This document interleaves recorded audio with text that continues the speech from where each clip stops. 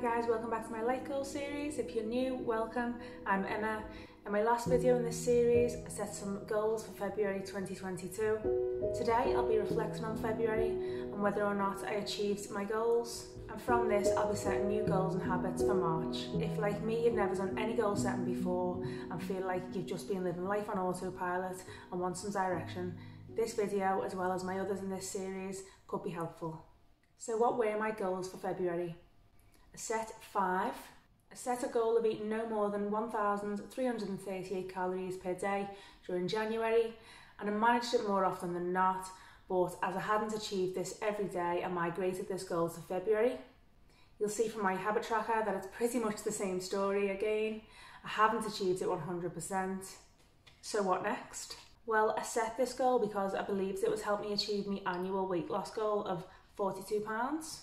And after two months, I have lost three pounds, which is better than a gain or staying the same. So there's still a positive there, but it's just quite a bit less than I'd hoped to have lost at this point in the year. So my thinking is this, this goal wasn't realistic given the plans and events that I had during January and February.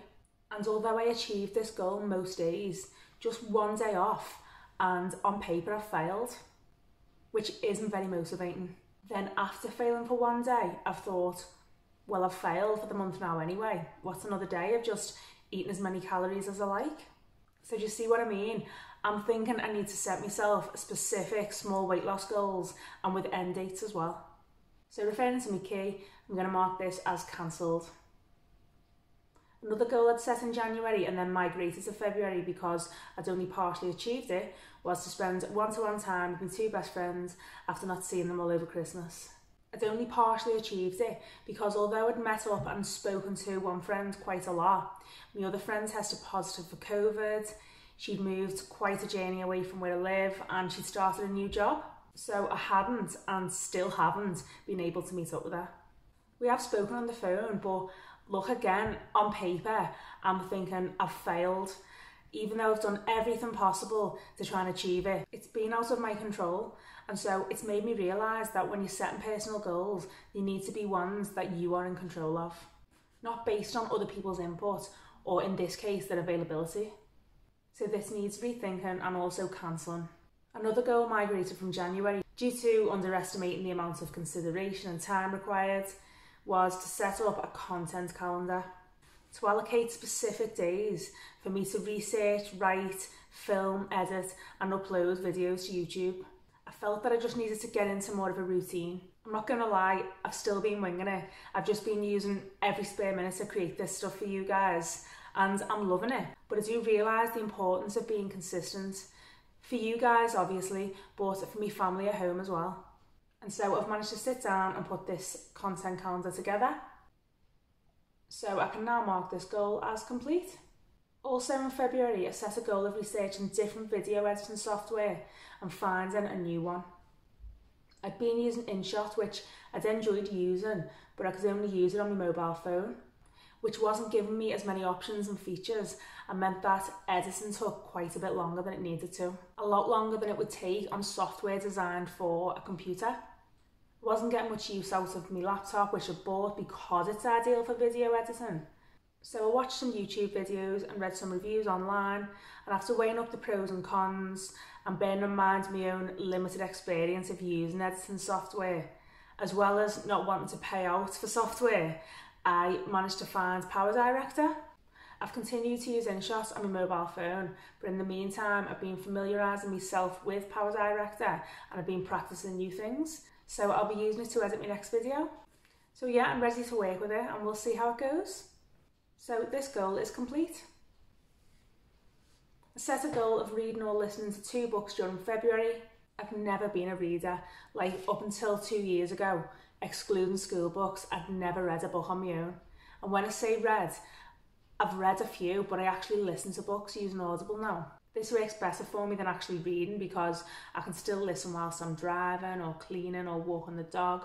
I set this goal because I went from listening to four books a month to listening to less than one. Naturally, because I've been spending a lot of time making YouTube videos for you guys, but I've learned a lot from books. They've helped me to overcome some difficult times, make some tough decisions, awaken more to who I truly am, what my values and beliefs are, and what I want to get out of this life. Books inspired me to start this channel. So I wanted more of the knowledge, wisdom, different perspectives and inspiration that they offer. During February, I found this in a book called The Way of Integrity by Martha Beck. This book gives a four stage process as well as some exercises that anyone can use to find integrity. And with it, a sense of purpose, emotional healing, and life free of mental suffering. I loved this book. It demonstrated love, care, vulnerability, and passion to make a difference in the world. It was also interesting and informative. Someone on a journey to awakening who I am and what I truly want from this life.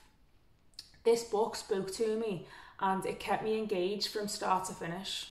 I think anyone in a similar position to me who wants to live a more intentional, fulfilling, and compassionate life should read this book. I listened to another book called Rich Dad Poor Dad by Robert T. Kiyosaki. This book shares how a context shift and the way that we view money and investments allows us to see opportunities that others miss. If, like me, you're looking for ways that can help you to retire early and financially free, and you don't want to work doing a job that you don't love your entire life, I recommend this book. So, again, this goal was achieved. So, here's my monthly reflection page or check in and this is where I review and reflect on the past month's accomplishments, summarise how I did with my goals and where I'm at with them by answering 12 questions. I'll put these in the description box for you. I do talk more about the benefits of reflecting in my last video. Each monthly reflection gives you a chance to start over, re-evaluate and make a new plan before you set your next monthly goals and decide on which habits you'd like to track. I'll use my journal logs and weekly reflections and pictures as well as my memory, which isn't really that great to be honest, to help me. And I answered each question with a journal prompt. What went well this month? What did I accomplish? And how does it make me feel? Both girls had lovely birthdays. I organised parties and meals for them both, as well as presents. I didn't get into debt or dip into any savings, and I feel proud of myself. What didn't go so well, and how can I improve for next month? I ate out a lot, I overspent on food and ate more calories than I should have. So, to improve next month, I could plan healthier options. What lessons did I learn this month and how did I grow as a person? Learned that goals need to be ones that we can personally control and that I feel disheartened and like I've failed when I don't achieve them, even if I know I've done all that I can. I need to focus on what I can control. What challenges did I face this month and how did I deal with them? I had high expenses to cover birthdays for the girls and my family, and I dealt with it with weekly evaluations and adjusting budgets or behaviours. What am I spending too little or too much time on? I'm spending too little time on my own, and it's meaning that I'm getting easily annoyed and frustrated quite often. What didn't go as planned, and how can I improve on it? Well, little change in my weight, so to improve I can set specific weight loss goals and increase my activity. Did you reach your goals this month? Why or why not? I did manage to reach three, two were cancelled and partial completion but need rethinking or rewording, and one wasn't in my control and one wasn't specific enough. What habits did I focus on this month and how did I do? I focused on two habits. The first was counting calories, and I didn't manage to do this every day. And the second was putting laundry away. I did manage to re establish this as a good daily habit, and I'm feeling the benefits. Which habits should I continue working on next month and why? I should track my calories because this will eventually support my annual health goal. Are there any bad habits I want to work on next month? Yes, leaving emails and messages unopened at the end of each day. What new habits do I want to try and implement next month and why? I'd like to clear my inbox daily to reduce digital clutter and be more organised. And I'd like to call friends regularly because I can control this and it's realistic. Overall, am I satisfied with how the month went? Why or why not? Yes, because I achieved some of my goals during quite a busy time. With February's reflections on, I can use the answers to my questions to help me decide on goals for March. My first goal is to clear my shed. I did originally set this goal in January, but because it involved me selling items at a car boot sale and me realising that the car boot sales aren't on until around March, I decided to migrate this goal to March. I have sold some items on Gumtree, Vinted and eBay, but it does take a lot of time to list them, answer lots of questions and then post all the items out. So yeah, I'm going to plan some time to sort through everything, which is basically just items I've decluttered from my home or my mum's decluttered from hers. I'll fill my car one dry sunny day, get down to the car boot sale, and people can just view, ask questions, pay for, and take away the items there and then. So, although yes, I will get slightly less money per item than I would if I'd sold them online, I can realistically find time for a car boot sale. My next goal is to lose £6 in March. I need to set specific small weight loss goals to aim for. This way, I still need to focus on my calorie intake, which I can continue to track, but it will also encourage healthier food options and increased activity. I'd worked out when I set my annual weight loss goals that I could realistically lose about one and a half pounds a week. My current weight is 12 stone 1, so I'm looking to weigh no more than 11 stone 9 by the 1st of April. I'll continue to weigh myself weekly to monitor my progress and give myself the opportunity to make any adjustments that I need to make to my lifestyle, such as plan some additional exercise, for example. My third goal is to have Lydia's prom arrangements made and a budget and savings plan in place. Lydia's school leavers prom is at the end of June. I have started to save for it because I do know that it's going to be quite costly, not just for the dress, but for all the accessories, hair and makeup and drinks on the night but I don't know exactly how much each individual item is going to cost. So I don't have a budget or savings plan in place to make sure I can afford it. So I want to have these things by the end of March. I'll need to plan to visit some dress shops and make some phone calls. My fourth goal is to spend half a day alone. Okay, so don't take this one the wrong way.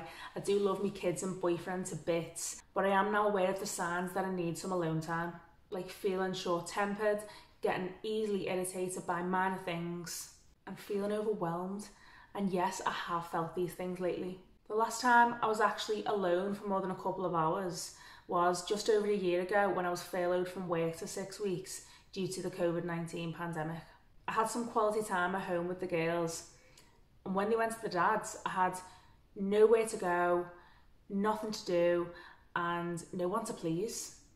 I had time to explore things that interested me, such as minimalism, and I discovered a slow and more intentional living as a new way of life. I'd go on long walks or bike rides, I'd read and listen to books, I started to watch YouTube videos for the first time, and I was able to explore these things without the guilt of feeling I should be doing more or should be doing something for others, and also without the pressures and judgments from others.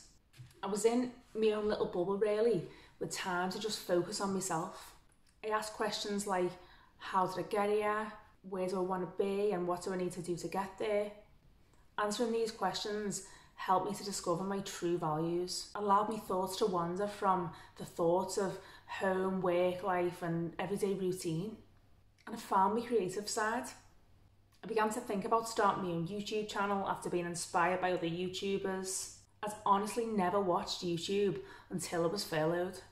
I promised myself that when life returned to normal and I was back at work, I'd schedule more alone time to tap into my own thoughts, feelings, and experiences. But of course, it's not that easy when you have two kids, a home to look after, and you work at least 45 hours a week.